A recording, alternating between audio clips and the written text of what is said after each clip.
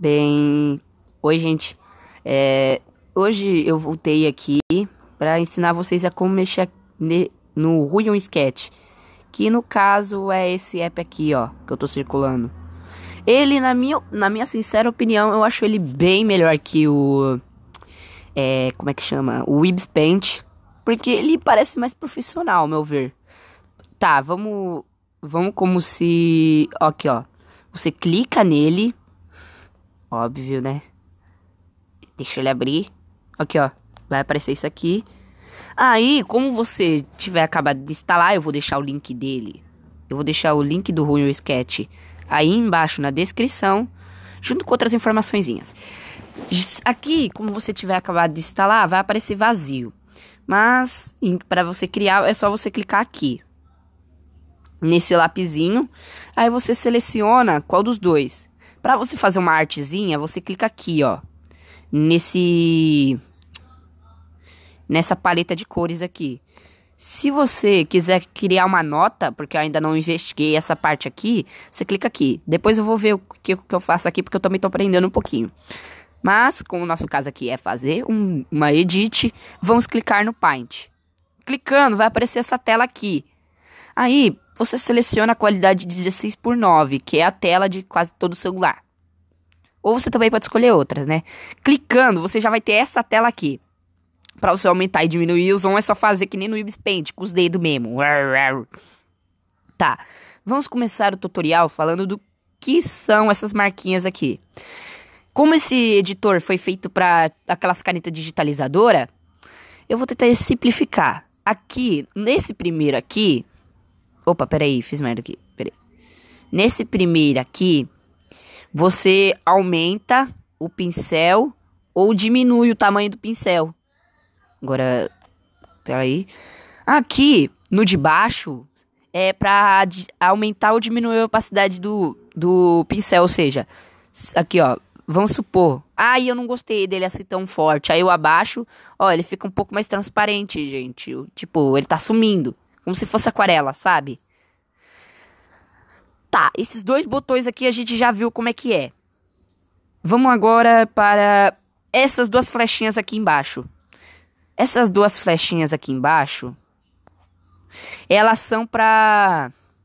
Como é que chama? Elas são pra... Aquelas coisas pra retirar... Ah, esqueci como é que fala. Mas toda vez que, tipo, você fizer Tipo, ah, eu rabisquei aqui, eu não queria ter feito isso. Você vai aqui embaixo, clica, aí some o que tava na tela. Ok, gente? Bom, agora vamos falar das funções que estão ali em cima. Não, pera, ainda tem uma coisinha aqui embaixo. Essas duas setinhas aqui, você usa para tirar tudo que tem na tela. E também para aproveitar e desenhar, né? O que, o que fica bem melhor porque você tem uma área de trabalho bem limpa. Pronto. O pincel aqui em cima, claro, é para você escolher todos os pincéis que você pode usar. Eu particularmente uso o pencil, o, o pencil, né, o lápis com o 8B pencil. Por quê? Para mim é que eu achei ele um pouco mais forte e eu não achei outro pincel desses bem mais forte do que eu queria. Então, eu tenho, então eu usei esse, mas também tem vários outros estilos de pincel, né? Você pode escolher entre qual você quer, né? Mas eu particularmente prefiro o Pencil no 8B, ok? A borracha, não tem muito segredo, isso aqui ainda não, eu ainda não vi. Tem a Hard Easy, a Soft Easy e a Leaf Eraser. Eu não, não sei como é que mexe nessas últimas duas, mas a Hard Eraser é a borracha normal, ok, gente? Essa mãozinha, você vai ter que ativar depois nas configurações isso. É para você mover. Ou seja, você não vai pintar, você apenas vai mover o negócio de um lado pro outro. Essas coisas aqui em cima, esses papeizinhos, são as camadas da arte. Ou seja, você pode ir adicionando um monte de camada. Ok, gente? Isso aqui nem no Ibis Paint mesmo. Esses quadrados aqui, ó, que tá azul. Tem várias coisas. Tem o filtro, correção, simetria. Bom, eu vou explicar aqui cada um. O flip horizontal ou flip vertical, você tipo vai virar a, a imagem de esquerda para direita ou de cima para baixo. O laço tool é aquele negócio de tipo selecionar através do laço, sabe, gente? Tem muito isso no Ibis Paint. É o Picture. No Picture, você vai pegar uma imagem da tua galeria e trazer ela pro, pro editor para você fazer alguma coisa. Que nem no caso que eu fiz aquela outra arte que tava na, na área de trabalho. Shape. Essas forminhas aqui. O shape, você consegue formas. Aí, tipo, ah, eu quero um, um, um círculo. Ah, eu quero um traço. Ai, não sei o que. Entendeu, gente? É mais ou menos isso. Oxi. Ok, né? Acho que eu fiz bosta. Gente, como é que tira isso aqui? Ah! Tá, tirou. Pronto. Deixa eu apagar. Ah! Lembrando, gente, esse negócio da opacidade também define borracha, sabia? Ó, vamos supor, ó, eu fiz isso aqui, ó, ela não vai apagar totalmente, ou seja, vai, vai deixar meio, meio que cinza, ok, gente? Ele não vai apagar totalmente se você fizer isso na borracha também. Essa pa outra paletinha de cores. Não, pera, ainda não terminei de apresentar aqui. O Symmetry. Symmetry é aquelas réguas de simetria, sabe? Que tipo, se você desenhar aqui, vai aparecer do outro lado também. O que fica até que bonito, porque você pode fazer umas artes muito fodas. Olha isso, gente. Pelo amor de Deus, ficou, ficou horrível. Ficou horrível. Apaga tudo. Nossa, chega até a travar o celular aqui. Mas tudo bem, né? Meu celular já é uma bosta, amigo. E o correction, eu sinceramente não sei. Correction, eu não sei o que que acontece. Eu simplesmente não sei o que fazer com esse correction. Mas eu sempre deixo ele no zero. Por quê? Porque eu não sei o que, que a gente pode fazer com ele. Então, deixa eu diminuir ele aqui. E pronto.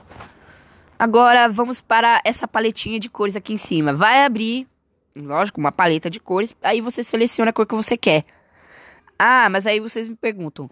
Ai, mas cadê o balde de tinta? Eu não quero ficar pintando na mão. Gente, eu prefiro pintar a mão.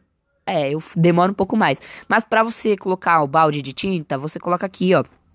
Você clica aqui, aí vai ser, vai, você vai, ó, clicando, você, eu sempre coloco a tolerância no último. Aqui, ó. Pronto.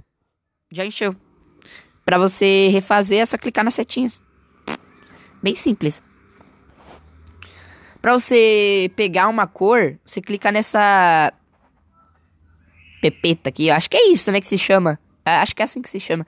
Aí você seleciona, é igual no Ibis Paint mesmo, só que você não precisa segurar o lápis. Não, precisa. Ah, pode sim. Eu não sabia disso. Você pode se selecionar através do lápis. Aqui nessa tabelinha de cores aqui embaixo vai mostrar as cores que você já usou recentemente. E aqui embaixo vai estar tá como tipo, ah, e o brilho, é, a, a força da cor, a escuridão da cor, ou seja, se ela for mais clara ou mais escura, a, se ela vai ser mais clara ou mais. Se ela vai ser mais claro, vai ser mais normal mesmo. Aqui nesse H é para escolher as cores normais. É, basicamente isso. E nesses três pontinhos aqui, clicando aqui, você escolhe o Canvas Size, que eu não sei o que, que é isso. O My Device, gente, eu não sei muitas coisas daqui. My Device, eu acho que é o meu, meu dispositivo. Clicando nele, é, não acontece nada. Eu não sei, eu não sei para que serve isso. Sketch Setting, eu também não sei, ok, gente? Eu não sei. É porque para mim é difícil, ok? Eu tô aprendendo agora.